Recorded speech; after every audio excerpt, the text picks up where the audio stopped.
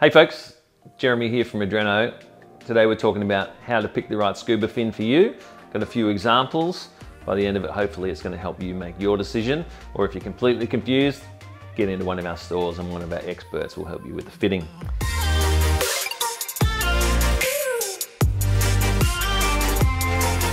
We've got a, a really good range here, a good cross section of the types of fins that are available to buy uh, and, and use as a scuba diver. And we're just going to work our way through, starting here with a couple of blade fins, which are, pretty typical of the kind of fins people start with. So over here we've got one of the world's most popular and enduring fins, which is the Mares Avanti Quattro. So this fin, if you haven't seen it before, uh, it's you probably haven't been out too much. So the Quattro, just it's like the Toyota Corolla and of fins. This thing has been around for ages. It performs in all circumstances and is just a good quality, well-built fin. So we've got here some typical features of a fin in that it's got a nice channel, a powered channel that scoops a lot of water and then that's reinforced by a strong rail. And these are rubber reinforced through the rails on the side. So as that fin's pushing through the water, it's scooping the water and the rail is quite uh, responsive, yet still quite rigid, so it's helping propel you through the water. Perfect fin for all circumstances. You might be reef diving, diving in some currents.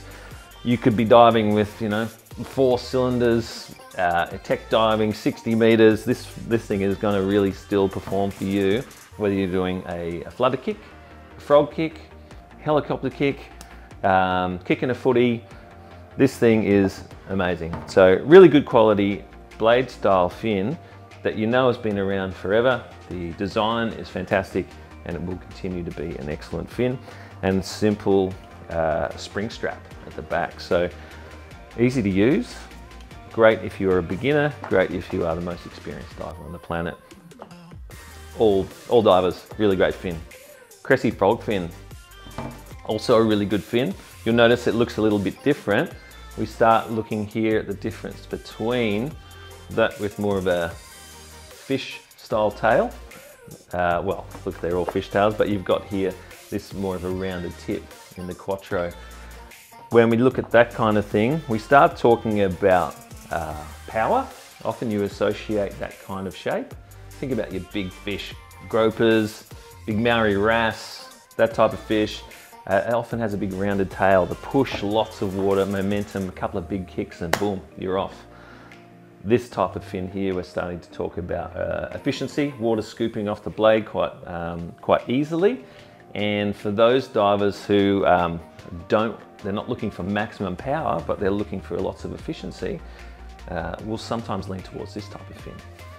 The frog fin, um, really nice price uh, and, and sort of, uh, so a lot of entry divers will start with it, but it doesn't mean it's entry level quality. Again, rubber rails down the side, reinforcing that channel through the middle. And it even has a more rigid shape. The more, uh, harder you kick with this blade, it will actually respond more and change shape as you kick. Again, scooping that water, runs through uh, the end of the blade um, through that softer tip through there and we're getting again great efficiency. Uh, but a couple of the things are unique about this fin, wide feet. People with wide feet really like this rubbery side. So I had a number of people come in that, that really are struggling to find a, a, a fin that doesn't give them foot cramps. And that's where this really stands out. As well as um, simplicity of your standard uh, fin strap with your pinch clips so you can easily remove that, get out of the boat, uh, uh, out of the water and back into the boat. Simple to use, classic style, affordable, great place to start. So, frog fin. These are our, as I mentioned, our blade fins. Now, uh, again, flutter kick, frog kick, whatever style you want to use, it's going to be great. Then we move on to split fins. Now these are a controversial fin for some people um, because uh, some people feel like they're not getting the power of something like the Quattro.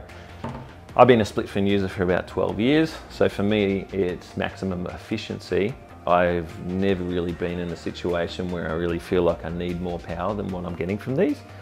Uh, someone like me, um, feeling the aches and pains, played sport a lot, sore ankles and knees. This gives me the efficiency I require without feeling all of that force, the force through your shins and through your ankles. So I don't feel as tired when I'm using these. I've still used them to drag people back to the boat and kicking current. So if you're someone who is looking at a fin that you need to feel less resistance, yet still get uh, sufficient power, sufficient um, efficiency out of your fin, terrific option. Now, you'll notice again, efficiency here, like that fish tail type of uh, um, movement where the water comes through the blade rather than off the end of the blade. It allows you to power yourself through the water um, really efficiency, uh, really efficiently. And we've got full rubber down the side. So that's then giving you a lot of uh, push back. Okay, so it's helping you push through the water. And then uh, the smoke on the water here by Atomic. Uh, now we're going to the spring strap. So we're talking about toughness. It's not going to catch on anything or wear out very fast. I've had the same spring straps on mine for about 12 years. Really great fins, but you can, if you need to change them and keep spares, on and off like that, super easy. So the split fin, yes, controversial for those who, who really feel like they um, uh, want a super powerful fin, or some people who want to fin backwards for some reason. They don't like these. Well, for most divers, I think you'd find that's a fantastic, really efficient, really comfortable fin. And then that brings us to your full rubber vented uh, jet style fin. This is the uh. Now that fin in particular, uh, what you'll notice with a short rubber fin is durability if it gets a, a knock, you cut it, cut it on uh, uh, exiting and entering a wreck, maybe some rocks or coral, the fin is still intact. This thing is not going to break down the news. So maximum durability in this rubberized fin. It's also very compact. So you'll notice the length here in the fin. These are actually the same foot size, okay? So a, me a medium fin, and the difference there is quite staggering, okay? So we're talking possibly about five, six inches there in that blade length. So on one hand, it's actually quite a good choice if you're traveling, nice and compact, but the purpose of these fins is um, being unbreakable, uh, uh, movement in small spaces, wrecks, caves, all that kind of stuff. This is going to give you that kind of uh, maneuverability. So for those who, again, are using that frog kick or that helicopter kick where you just got more of an abbreviated kicking style, it's going to allow you to push a lot of water um, in a small space. So they are a very good fin for that.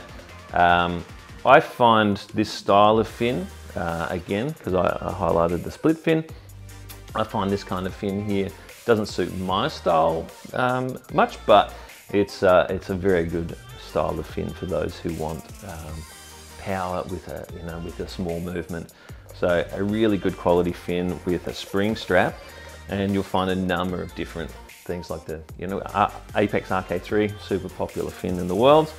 Um, you'll find uh, yeah uh, Hollis F2s. You've got a, a, number of different fins which are really good in this kind of context. But um, if you're looking for a fin that will help you in enclosed small spaces or um, give you uh, really maximum toughness, well then that style vented fin is a really good option. When it comes down to picking the fin for you, there's a couple of really key things. Do you know what? It's one of the first things you get a choice in when you're buying your scuba gear. Color. Get something cool, get something you like the look of, you know, at the end of the day, if you're in underwater with scuba gear on, if you put a plank of wood on your feet, you're gonna move. All right, if you buy any one of these fins, you're gonna move, you're gonna be happy, but some of these fins will uh, fit you better than others. Some of them, as I've alluded to, will feel more comfortable in terms of uh, you know how it feels through the legs and reduce cramping. And another big part of that is fit. So what's really important when you are fitting fins is that if you come into one of our stores that you bring your boots.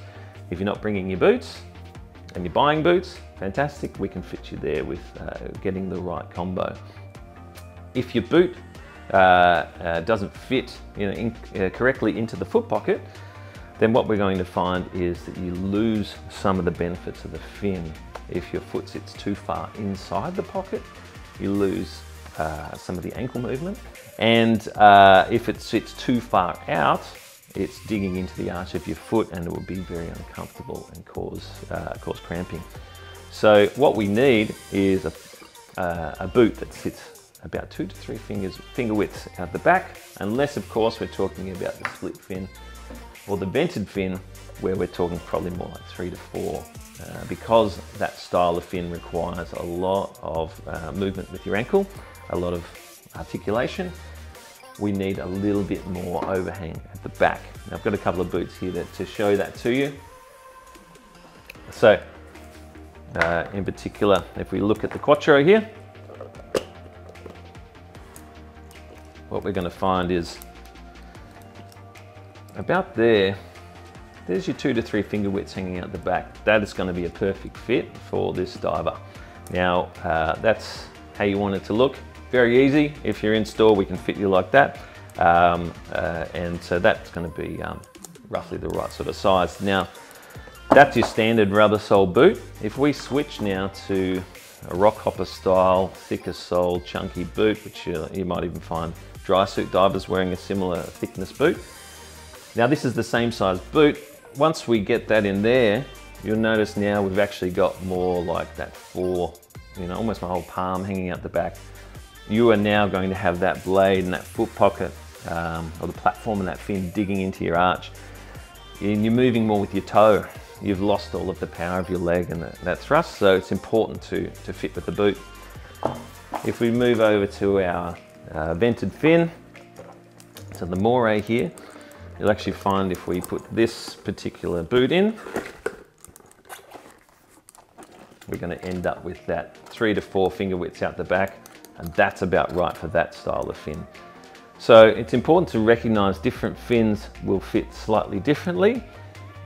Different fins will benefit you uh, and your physiology and what's going to uh, feel comfortable, comfortable for you in the water, reduce cramping, uh, reduce fatigue, and also be suitable to your environment. So when you come in and see us, we're going to talk to you about where you're going to be diving, maybe some of those physiological things, uh, and help uh, with the fitting to help you understand the best type of scuba fin for you to buy. And maybe you're doing a combination of things. You know, if you're doing a bit of snorkeling and scuba diving, you might find that these two um, offer a bit more softness and comfortability on the surface just because of the way it allows water to flush through the blade rather than something like this bigger, uh, bigger channel here, which is going to provide more thrust. When it comes down to it guys, as I mentioned, you can pick the kind of fin that you're really happy with and like the look of. You can color code and just and be done with it there. Or you can pick it based on performance, durability, price. But there's heaps of options for you and have fun doing it. Okay, no wrong choice. There's lots of great options. So come into one of our uh, Adreno mega stores, call our customer service team if you can't get into the store and they'll help you talk through the options of the right kind of fin to fit you. Thanks for watching the video and uh, happy diving.